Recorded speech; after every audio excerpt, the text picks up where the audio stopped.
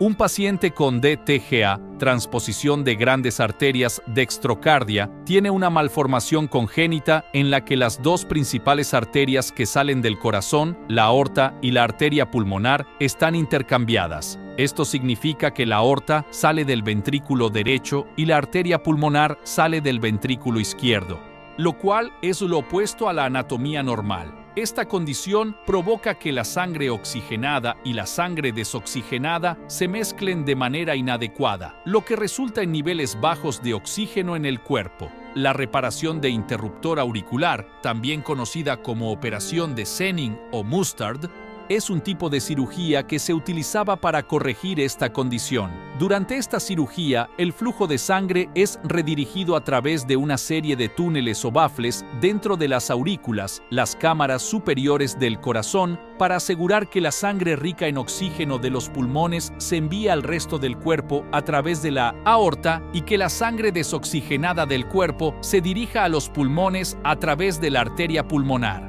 Es decir, en lugar de corregir la posición de las arterias, la cirugía cambia la dirección del flujo de sangre dentro del corazón para que funcione correctamente, aunque esta técnica ha sido ampliamente reemplazada por la reparación anatómica, procedimiento de switch arterial, debido a mejores resultados a largo plazo,